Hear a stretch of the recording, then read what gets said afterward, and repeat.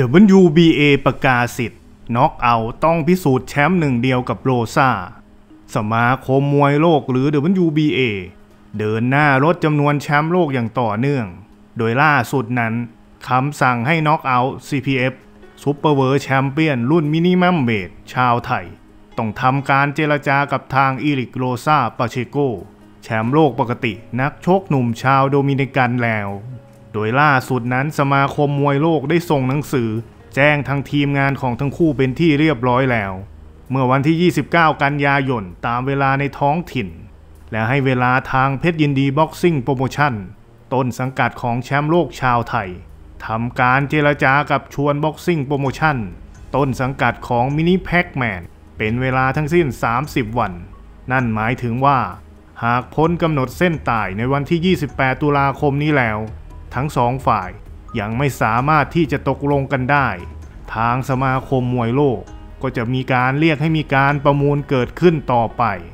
โดยความจริงแล้วน็อกเอาท์ที่ถูกสถาปนาขึ้นเป็น super world champion รุ่นมินิมัมเวตของ WBA ตั้งแต่วันที่ 29 พฤศจิกายน ปี 2018 จะครบกำหนด 18 เดือน ที่จะต้องป้องกันตำแหน่งกับแชมป์โลกปกติของ WBA ไปตั้งแต่วันที่ 28 พฤษภาคม ปี 2020 แล้ว แต่ช่วงนั้นการแพร่ระบาดของโรคโควิด -19 เป็นปัญหาทำให้เกิดการดีเลยเรื่อยมาทำให้หลังจากครบกำหนดดังกล่าวแล้วน็อกเอา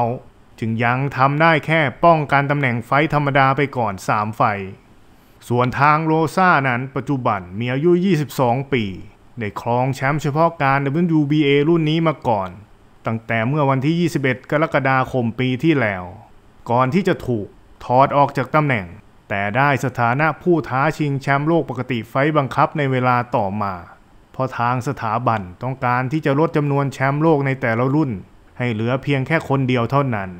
โดยทางโรซาเฉือนชนะคะแนนทางวิกตอริโอซาลูดาเจ้าของแชมป์โลกปกติ ชาวฟิลิปปินส์ไปได้นั่นเอง